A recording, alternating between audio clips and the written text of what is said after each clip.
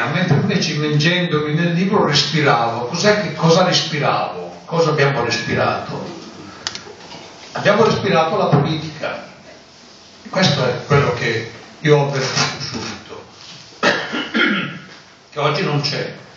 La politica, lo ricordava anche Stefania, è un po' come l'aria che respiriamo, e, mm,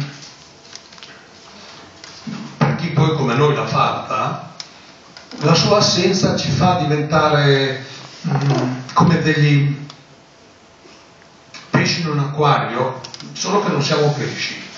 E allora viviamo in apnea. Adesso ho sentito parlare di Mitterrand, del, della grande riforma, eh, di questo pensiero alto che c'era allora e che Craxi interpretò in maniera esemplare.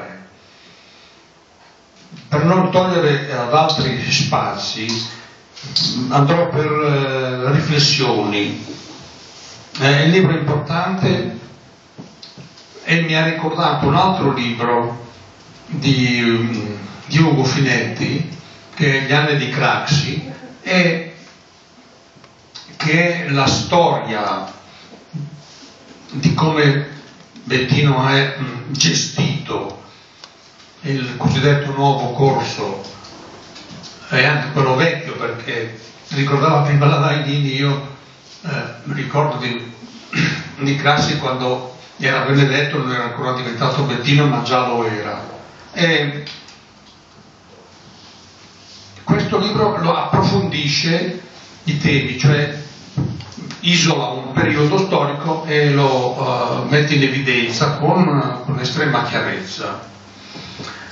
Craxi, e po- pochissimi capirlo, ma io mi ricordo che allora io, Ugo, Carlo, tanti altri ce ne rendemmo subito conto. Cos'era Craxi? Era il rottamatore, era mh, colui il quale appariva sulla scena politica nazionale non da niente, ma da una lunga gavetta, da una lungo percorso attraverso la vita di partito e la vita amministrativa e eh, fa un'irruzione sulla scena politica eh, proprio come colui che rottama non soltanto mh, eh, altri protagonisti.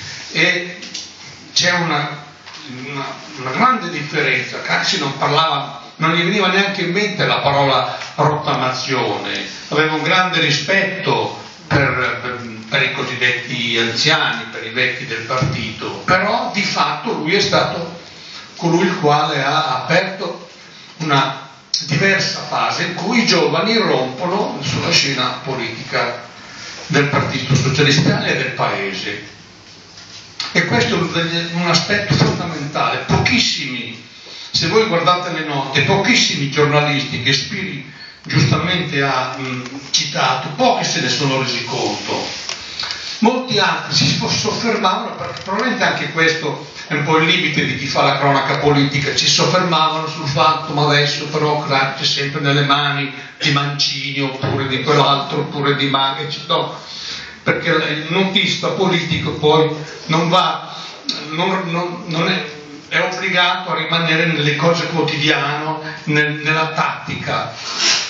Pochi avevano capito e intuito che Grax aveva la strategia, questa era la grande novità nella politica italiana, una strategia che poi è andata avanti e che negli anni Ottanta, appunto, di Crax years, come dicono gli storici eh, anglosassoni, ha, suo, ha modo di eh, svilupparsi eh, ci sono delle intuizioni già nel, per esempio nel congresso di, di Palermo, ma anche prima. Bettino ha, lo, lo cita bene il libro, Bettino ottiene un incarico esplorativo da parte di Pertini. Eh, se ben ricordo perché mm, la DC si era, eh, si era, un po' incartata, tutta una serie di proposte, di proposte, non si riusciva a, a trovare il mango della matassa, d'altra parte non si riusciva perché nessuno aveva il coraggio di dire che c'era bisogno di una sola parola, una e una sola, la governabilità, però si aveva paura a parlarne, a dirla, a esplicitarla, mm, chissà se, la, se poi se, se, ci alleiamo con DC chissà cosa succede. Ad ogni modo, mm, Bettino tiene questo incarico e la cosa che mi colpì, anzi mi ha colpito poi negli anni successivi, è che fa un'intervista in televisione e eh, al, al telegiornale e naturalmente spiega che adesso ci riuniamo, la direzione farà, eh, ma però introduce una novità. Penso che sottoporrò agli, ehm, agli altri partiti e al Paese un contratto con gli italiani.